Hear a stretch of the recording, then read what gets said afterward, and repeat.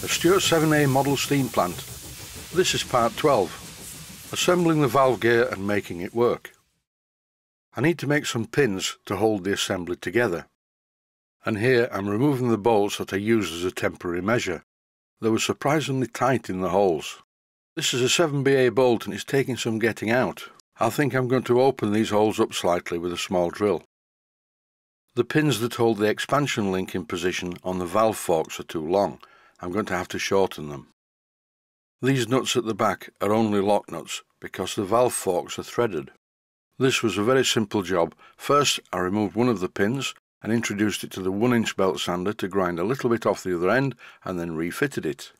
The front part of the valve forks are not threaded but the rear part is.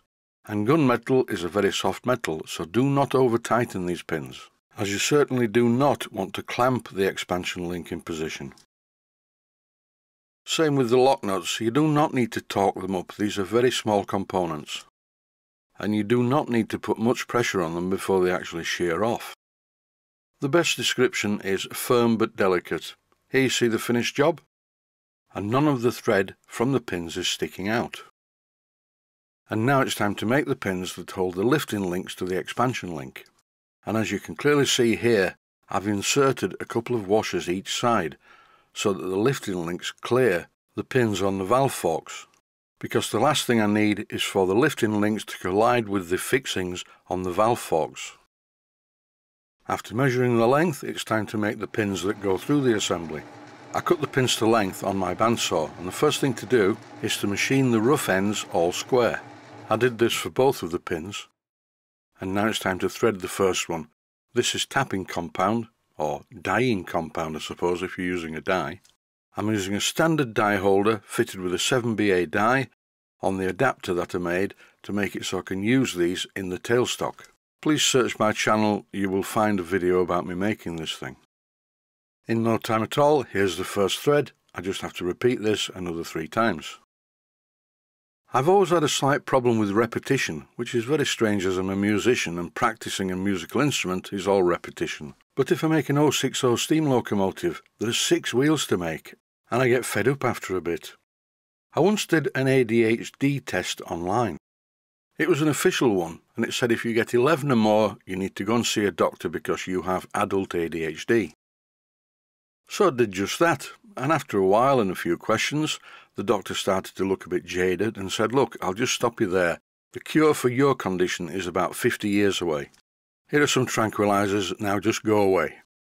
Later on in my life, I found out that it was a really weird food allergy that caused most of my problems. I wrote a bit of a paper about it, showed it to the doctor, and he said, Yes, this is 100% correct. But as not everyone is affected by these foods, no one will take it seriously. And now it's back to the job, and the last part of it is to clean up the end of the thread and where the thread finishes because usually at this point there is a slight burr.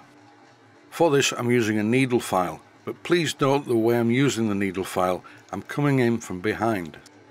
There's definitely no need for a girlfriend joke on this one. Time to assemble the pins and they're going together very well.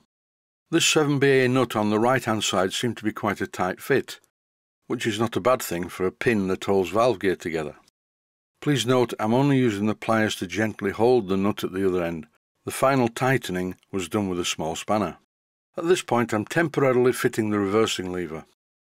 The reversing lever shaft will need to be fitted permanently into the drop arm and locked in position.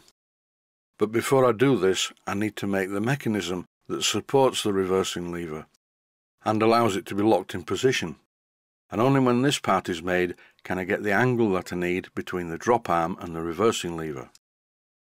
That's the way I do it anyway.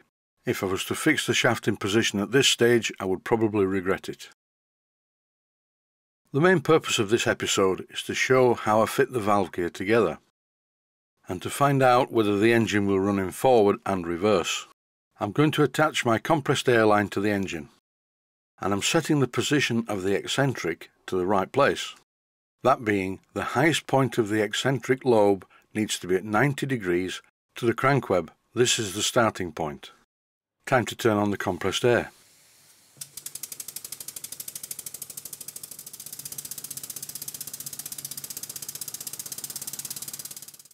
Well, that's quite encouraging. I'll put it down to beginner's luck. Even though the valve timing is somewhere near, it will not go in reverse. So what's going on here? Have I lost the plot? Have I got everything totally wrong on this engine? It looks to me like the expansion link is colliding with the drop arm when it's in reverse. I think I'll leave that for the moment and revisit it in the next episode. In this clip I've applied some Loctite 243 thread locker to the threads on the end of the pins. Now I'm retightening the nuts. This will stop them working loose, because nobody wants the nuts to drop off. The valve gear feels very good and it moves from side to side very smoothly. And the reversing gear is not finished or locked in position, but it runs quite well with the expansion link at this end. At the moment I'm turning the oil regulator on the displacement lubricator, which is doing nothing at all I'm turning it just to illustrate the fact that if you have an engine fitted with a displacement lubricator, it will only work when the engine is running on steam.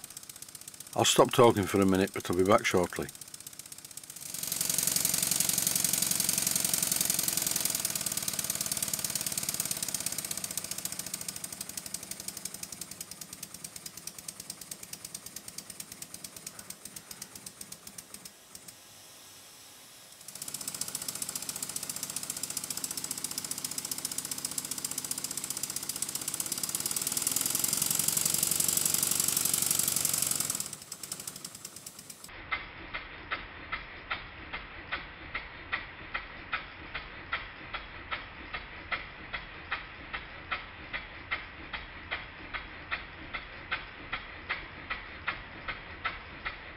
So what's going on with the expansion link? I had a look on the drawings. I can't show you those because they are copyright.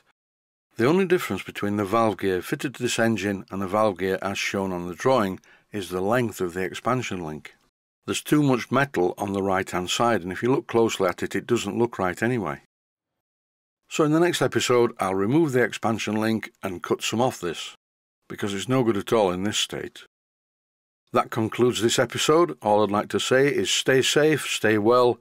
Thanks for watching, and I hope you found it useful. Please take the time to visit my Mainsteam Models website. Click on the section of the website that says Video Playlists. And by doing that, you will find it very easy to find other videos that you may like to watch.